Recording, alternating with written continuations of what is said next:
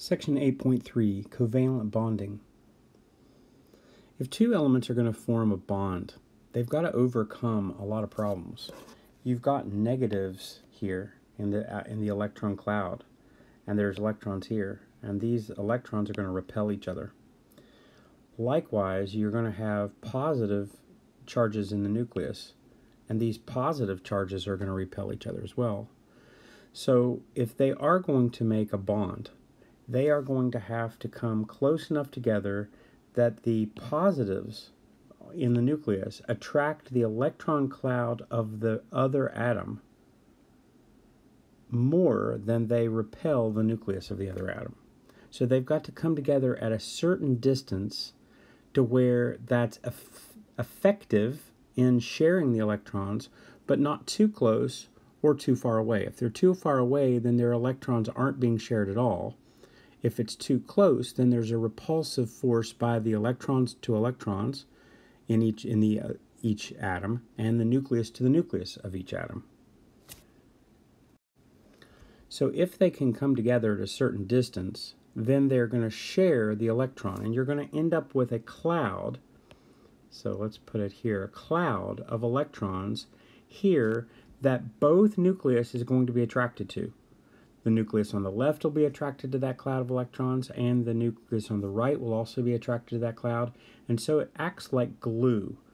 So the, the bond pair, the pair of electrons, the bonding pair of electrons, are acting like glue to stick the two uh, atoms together.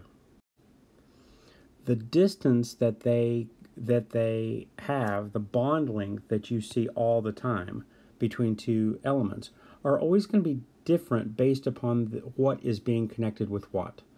So a hydrogen-hydrogen will always have a bond length of 74 picometers because that is the optimum distance to where the bonding electrons are being attracted to the nucleus, but the repulsions between the electrons in each atom and the nucle nucleus in each atom is minimized. So the the bond length is the is the size of the attraction between the two atoms. So how close are they together? That is a mathematical sweet spot, if you want to think of it that way. It's the place to where it's enough to make a bond, but not too much to have the repulsion between the, the nucleus and the other electrons to each other. So if you have a covalent bond, the molecule that's formed is called a covalent compound. So the compound is just more than one thing. Normally a compound is going to be a um, two or more substances. This is an example of a molecule of fluorine. So a covalent, it's a molecule. Molecules normally are covalent. So you can have a molecule of fluorine, but a covalent compound normally having more than one uh, type of matter that's coming together. The electron dot, uh, Lewis dot uh, structures are very easy with covalent bonds. They simply take the pairing electron that's being shared and replaces it with a line. So if I were to have uh, fluorine, and I have fluorine is 7, 1, 2, 3, 4, 5, 6, 7, and here is a fluorine again because I'm making a fluoride or a fluorine gas compound. Well, these two guys are the ones that are being shared. And so this is how you draw it. You draw the electrons as the bonding electrons as a line, and then the non-bonding electrons as dots. So this would be the Lewis dot structure of FL uh, of F2. It is possible to not draw in the dots and just show that Obviously, it's in group 7. There has to be 7. It's only sharing 2. That means the other the other six have to be around the fluorine. So it's a like a supposed or an, um, just a expected. Most of this most of the atoms that form covalent bonds with each other are nonmetals.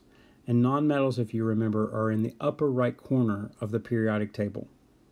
So hydrogen it counts as well. Hydrogen is in group 1, but hydrogen is non-metal and acts like a non-metal.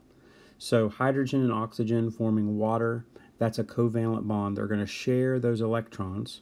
And so when you have um, group 6, like oxygen's group 6, you have one, two, three, four, five, six. Well, you have two uh, non-binding pairs, lone pairs, they're called lone pairs, and then this guy is easy to form a bond with. So when you share an electron with that hydrogen or share an electron with this hydrogen, you've got a bond. And the space sharing model kind of looks like this to where this is the idea that this, um, I need a different color, this is the sphere of the hydrogen and it's overlapping with the sphere of the oxygen. So that overlap part is where they're sharing the electrons. So the top example A is ammonia. So you have nitrogen and three hydrogens. Well, ni uh, nitrogen is in group 5. That means it has one lone pair. So when you when you put 5 around it and you can only make doubles, then you're going to have one lone pair that doesn't bond with anything, and then three single electrons that will easily bond with something like hydrogens. So when you make one, two, three, you end up with an NH3 molecule, and that's a cleaning ammonia, like glass cleaner. Um, methane is CH4. Okay, CH4 is methane, where carbon is in, has four in its outer shell, and it's sharing one with each of the hydrogens. The hydrogen counts two of these for its stability. Remember, it only needs up to two. It doesn't need octet. It just needs a duet. The hydrogens do. But the carbon needs an octet, and by sharing with four, it has eight electrons, and that's an octet. That's methane, natural gas.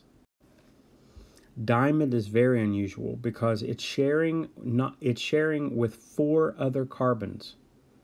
So because it's sharing with four other carbons, it's in a it's like the monkey bars. It's all rigid and um, holding in a in a stru- in a matrix structure, such that e- that even light diffracts in it. It's so it's such a thick substance that it even bends light, say more than glass or more than anything. That's why the the colors in a diamond are so crazy because because of the thickness of this due to its strong rigid structure. Otherwise, it would be just like your pencil lead. It's exactly the same stuff. Your pencil lead and, and a diamond ring is made out of identical stuff. If you share more than one electron pair, then you have more than a single bond. So if you were to have two electron pairs being shared here, that's called a double bond. So a double bond would be one, two, three, four. So here's 1, 2, 3, 4, 5, 6, 7, 8. 1, 2, 3, 4, 5, 6, 7, 8. So it count that both of those electrons count for both sides. So carbon dioxide are two sets of double bonds, very rigid. Uh, nitrogen, uh, N2, nitrogen. Um, nitrogen like is 70% of your air that you breathe, but it doesn't do anything. Like when you take it, when you breathe in nitrogen, it doesn't have any effect physiologically on your body because it is so tight. These three bonds are so tight that it's very unreactive. It really doesn't react with very much. So when you have a double bond or a single bond or a triple bond, the bond length will be different. The more electrons you're sharing, the tighter that bond is. And the tighter the bond is, the more or less, or in this case less, reactive that that stuff will be. Like nitrogen being very unreactive as a gas, it's almost it's an inert gas. It doesn't even do anything. Inert means nothing. It doesn't do a thing. So whereas you have 148 picometers for a single bond in oxygen, if you have a double bond in oxygen, it's only 121. So it's a lot shorter because it's a stronger bond. They're holding each other tighter. When you get into a triple bond, it's even less.